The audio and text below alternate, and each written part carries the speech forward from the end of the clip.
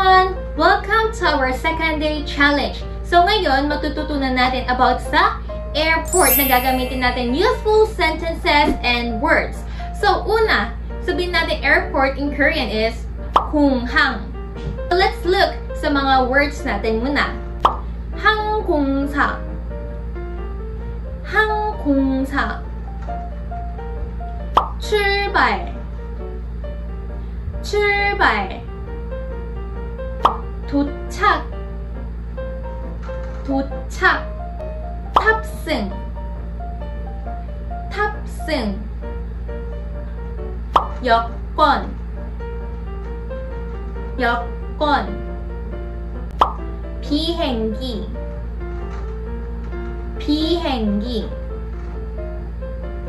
기내. 기내. 표, 표, 지연, 지연, 여행, 여행, 가방, 가방.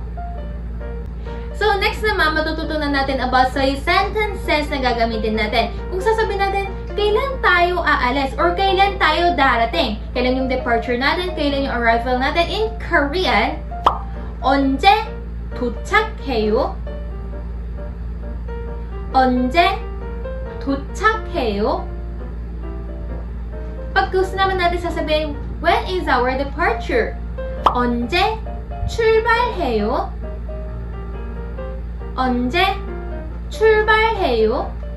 Next, kung gusto natin malaman kung saan dapat tayo pupunta, sasabihin natin, 어디로 가야 하나요? 어디로 가야 하나요? In English, pwede natin sabihin, where to go? Saan po tayo pupunta? Ganon.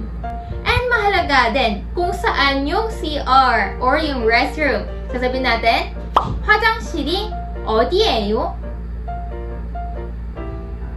화장실이 어디예요?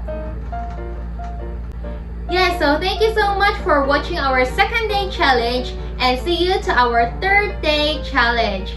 Bye-bye!